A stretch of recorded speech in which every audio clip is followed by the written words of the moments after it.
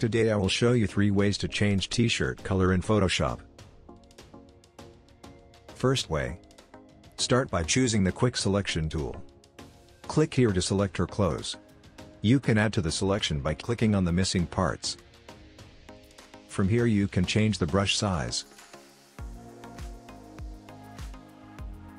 Click to add to the selection. Hold Alt and click to remove the unwanted selections.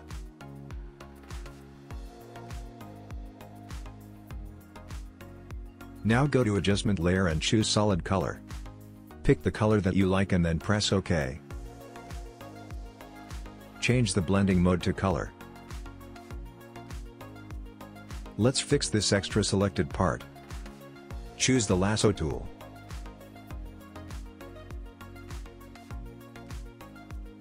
Click on the mask. Make sure the foreground color is white. Press delete. Press Ctrl D to deselect. That's it. Now let's see the second way to change the color of a t-shirt. Hide this layer. Right-click on the mask and choose Add Mask to Selection.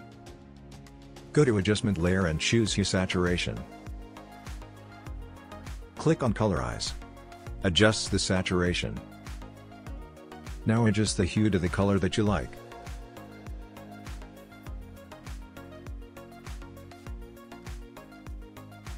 Now let me show you how to change the shirt to a gradient color.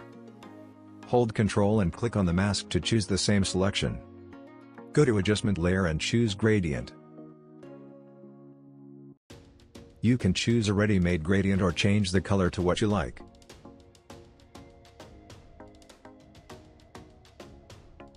Change the blending mode to color. To change the gradient, just click here and change each color to what you like.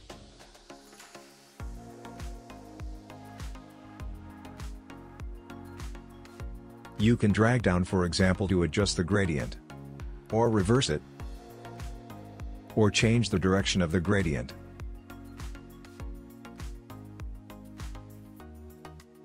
That's it, hope you liked it. Now go practice and don't forget to write your comments below.